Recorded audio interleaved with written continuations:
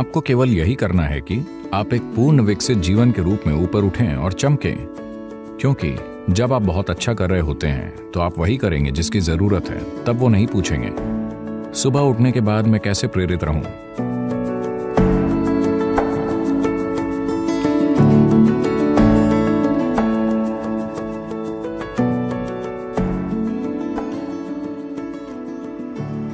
आपको एक प्रेरित व्यक्ति नहीं होना चाहिए। आमतौर पर, जब हम किसी को प्रेरित हुआ कहते हैं तो इसका मतलब होता है, उनका अपना कोई एजेंडा है। जीवन का कोई एजेंडा नहीं है। ये आपके लिए एक पूर्ण विकसित जीवन होना है। एक झिंगूर पूर्ण विकसित झिंगूर होने की कोशिश कर रहा है। एक केंचुआ पूर्ण विकसित केंचुआ होने की कोशिश कर रहा है। एक पक्षी पूर्ण विकसित पक्षी होने की कोशिश कर रहा है। एक पेड़ पूर्ण विकसित पेड़ होने की कोशिश कर रहा है। एक मनुष्य को भी पूर्ण विकसित मनुष्य होने के लिए प्रयास करना चाहिए। हमारा बस यही काम है। पर हम में से हर कोई अपना एजेंडा बनाने में लगता है और हर तरह की चीज़ें करने लगता है। नहीं नहीं। आप बस जीवन का एक टुकड़ा हैं। खुद को ज़्यादा गंभीरता से मत लीजिए, क्योंकि मुझसे और आपसे पहले अनगिनत लोग आकर जा चुके हैं। हम्म? आया ना? वो कहाँ हैं? वो सारे लोग? आपको लगता है वो सभी मूर्ख थे? वो सभी मूर्ख थे और वो मर गए? क्या ऐसा है? नहीं, वो भी आपकी ही तरह थे। शायद वो भी अधिकारी रहे हों, शायद वो राजा रहे हों, आपसे भी बढ़कर। हर तरह की चीज़ें। अब सब ऊपरी मिट्टी बन चुके हैं। ये भी ऊपरी मिट्टी बन जाएगा। बस थोड़ा सा समय और जीवन एक छोटी सी चिंगारी है। आपका बेटा कितना बड़ा है, सर? पच्चीस? तो सत्ताईस साल पहले वो कहाँ था, सर? तो अगर कोई यहाँ नहीं है तो हम कहते हैं कि वो मर चुके हैं, है ना? सत्ताईस साल पहले वो मर चुका था। हम उसे सौ साल देंगे, सर। अस्सी साल बाद। वो फिर से मर जाएगा। हम्म? आया ना? तो सत्ताईस साल पहले वो कितने समय तक मरा रहा था, सर? हम्म?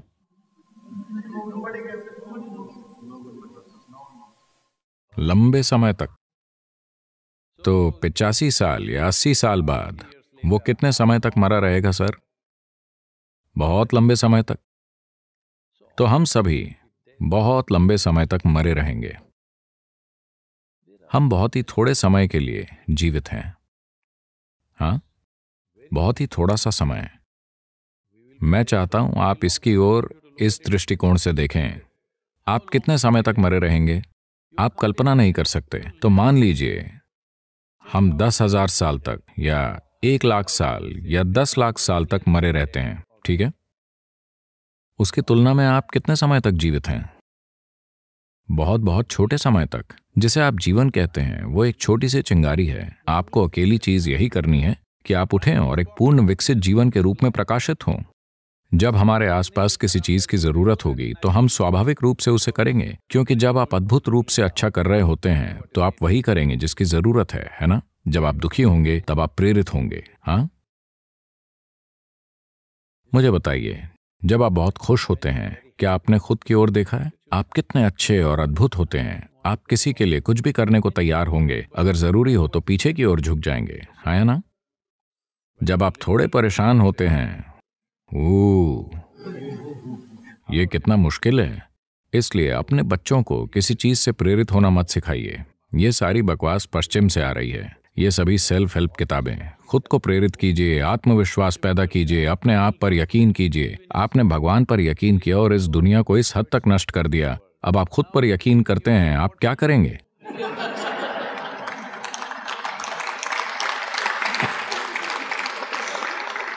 ये सारा कचरा पश्चिम से आ रहा है। आपको प्रेरित होने की ज़रूरत नहीं है। आपको बस इतना देखना है कि अभी ये अपने पूर्ण संभव स्तर पर कैसे हो। अगर ये पूर्ण रूप से जीवित है तो ये वो सब करेगा जो ये कर सकता है है ना? जो ये नहीं कर सकता, उसे ये वैसे भी नहीं करेगा। अगर आप सुबह किसी पक्षी को देखें, यहाँ पक्षी हैं, आप जानते हैं, आप कहाँ से आए हैं, सर? दिल्ली? हम्म तमिलनाडु, चेन्नई। चेन्नई कौवे को छोड़कर शायद वहाँ कोई पक्षी नहीं है, हुँ? तो अगर यहाँ आप कोई पक्षी देखते हैं, सर, छोटा पक्षी, सुबह में, ये वो सब कुछ कर रहा होता है जो ये कर सकता है है ना? हेलो? वो सब कुछ जो ये कर सकता है, वो कुछ नहीं छोड़ेगा। आपको बस यही करना है। वो सब कुछ जो आप कर सकते हैं, आप जो नहीं कर सकते, बिल्कुल ठीक है। एक कीड़ा वो नहीं कर सकता जो एक पक्षी करता है, एक पक्षी वो नहीं कर सकता जो एक हाथी करता है, एक हाथी वो नहीं कर सकता जो हम करते हैं हाँ या ना? लेकिन हमें वो करना चाहिए जो हम कर सकते हैं, जो हम नहीं कर सकते, वो कोई मायने नहीं रखता। जो हम कर सकते हैं, वो ज़रूर होना चाहिए। For this all that's needed is you must understand life is a very brief sparkle it's just and gone इसके लिए आपको बस यही समझने की ज़रूरत है कि जीवन एक छोटी सी चिंगारी है। ये बस बुब बुब और खत्म। आपको समझ आए कि क्या हो रहा है। उससे पहले ही आप जा चुके होते हैं। जब तक आप दुखी ना हो, दुखी लोगों का जीवन बहुत लंबा होता है। सिर्फ़ उन्हें लगता है कि जीवन लंबा है। अगर आप बहुत खुश हैं तो पुफ, इससे पहले कि आप जाने कि क्या हो रहा है, ये खत्म हो जाएगा। क्या आपने किसी खास दिन की ओर ध्यान दिया है? आप बहुत खुश थे। 24 घंटे यूँ ही निकल जाते हैं। थोड़े दुखी 24 घंटे दस हज़ार साल जैसे लगते हैं। हाँ या ना? इसलिए समय बहुत रिलेटिव या सापेक्ष अनुभव है। पर अगर आप इससे तुलना करते हैं कि आप कितने समय तक मरे रहेंगे, आप लाखों सालों तक मरे रहेंगे। आप बस थोड़ा सा ही जीवित रहें। इस बार किसी भी चीज़ से प्रेरित मत होइए। आपको बस यही करना है कि आपको एक पूर्ण विकसित जीवन बनना चाहिए। 25 साल का लड़का, उसे एक प्रेरित मनुष्य नहीं बनना चाहिए। उसे सिर्फ़ जीवन का एक विस्फोट होना चाहिए। उसके बाद वो नहीं पूछेगा, मैं सुबह उठने पर प्रेरित कैसे महसूस करूँ? आप किस चीज़ को लेकर प्रेरित हैं? किसी चीज़ से नहीं। अगर आप जीवित हैं तो अपने बिस्तर से उछल खड़े होंगे, है ना? पर अब जिस तरह हम खाते हैं, जिस तरह हम सांस लेते हैं, जिस तरह हम चीज़ें करते हैं, और नशीली चीज़ें वगैरह, सब कुछ आमतौर पर शरीर मरना चाहता है। ये जीवित नहीं रहना चाहता। लोग, आपको पता है, ये सब कुछ पश्चिम से है। लोगों ने इस संस्कृति का निर्माण किया। वो क्या है? भगवान का शुक्र है, आज शुक्रवार है। आंकड़े दर्शाते हैं, सत्तर प्रतिशत अमेरिकी अपने काम से नफरत करते हैं। नापसंद नहीं, बल्कि घृणा। पाँच दिनों तक अगर आप कुछ ऐसा करते हैं तो मुझे नहीं पता कि आप वीकेंड का आनंद कैसे उठाते हैं। वीकेंड में सिर्फ़ इतना होता है कि आप बेहोशी की हालत में होते हैं। या तो आप शराब पिए होते हैं, या ड्रग्स लिए होते हैं, या किसी चीज़ में लिप्त होते हैं, ठीक है? उसके परे कोई बड़ा आनंद नहीं घटित हो रहा। हाँ ना?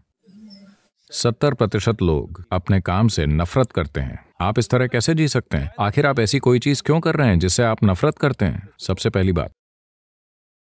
अगर आप जो कर रहे हैं उसे पसंद नहीं करते तो आपको वो नहीं करना चाहिए। कोई ना कोई उसे हमेशा करेगा। हेलो? कोई मेरे पास आता है। वो एक मल्टीनेशनल कंपनी को चलाते हैं।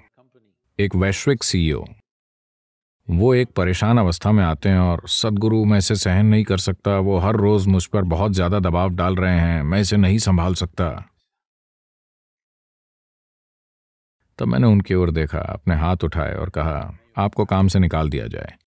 ओह, सदगुरु सदगुरु, आप क्या कह रहे हैं? मैंने कहा, अरे, आप कितना ज़्यादा कष्ट उठा रहे हैं। इसका क्या मतलब है? अगर आपको निकाल दिया जाता है तो कम से कम आप समुद्र किनारे टहल सकते हैं। शायद कोई और इस काम को आपसे थोड़ी ज़्यादा खुशी से करे।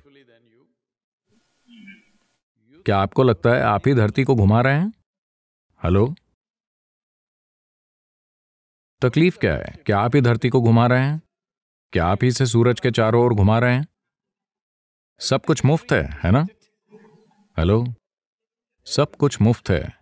आपको बस एक पूर्ण विकसित जीवन बनना है। अपने आप को बहुत ज़्यादा धारणाओं, दर्शनों, मान्यताओं, बेतुके विचारों और भावनाओं से बांधकर आप जो हैं, उससे कम मत होइए। नहीं, आप जो हो सकते हैं, उससे कम कभी नहीं होना चाहिए। आपको किसी दूसरे जितना अच्छा नहीं बनना है, और आप कभी हो भी नहीं सकते, क्योंकि सभी अलग हैं, पर आप जो हो सकते हैं, उससे कम नहीं होना चाहिए। तो आपको इसके लिए प्रेरणा की ज़रूरत नहीं है। आपको जीवंतता की ज़रूरत है। 25 की उम्र में अगर आप बहुत जीवंत नहीं हैं तो आपको थोड़े सहारे की ज़रूरत है। चेन्नई। आमतौर पर सुबह सुबह जीवंत होता है। ये बैंगलोर की तरह नहीं है। बैंगलोर दस बजे उठता है। चेन्नई आमतौर पर सुबह पाँच बजे से ही जीवंत हो जाता है। जनरली। इसलिए अपने बच्चों को प्रेरित मत कीजिए ये ज़रूरी नहीं है। आपको देखना है कि वो कैसे आनंदपूर्ण और जीवंत रहते हैं। इसमें उनका शरीर और उनकी बुद्धि सबसे अच्छे तरीके से काम करेंगे। अरे, क्या वो बस खुश रहेंगे और कुछ नहीं करेंगे? आप मुझे बताइए। आप खुश होते हैं तब ज़्यादा करने को इच्छुक होते हैं? या दुखी होते हैं तब?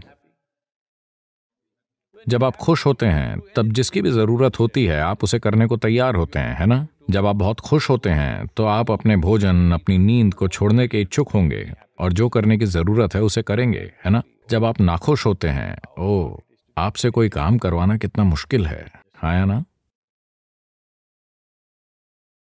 तो एक पत्नी ने अपने पति को टेलीग्राम भेजा, जो एक तीन महीने की ट्रेनिंग पर था। आईएएस उसने एक टेलीग्राम भेजा। चिंता करनी शुरू कर दीजिए, बाकी समाचार खत में लिखूँगी।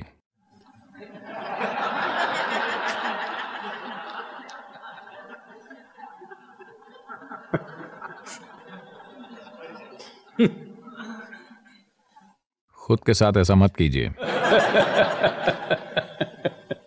25 की उम्र में आप चिंता करनी शुरू कर दीजिए, बाकी सब पीछे आ जाएगा।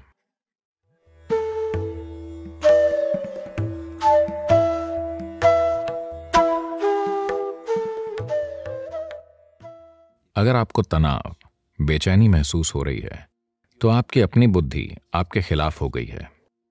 अगर आप ये समझते हैं कि सारा मानवीय अनुभव भीतर से आ रहा है तो आप खुद को पूर्णता की ओर कैसे नहीं ले जा सकते?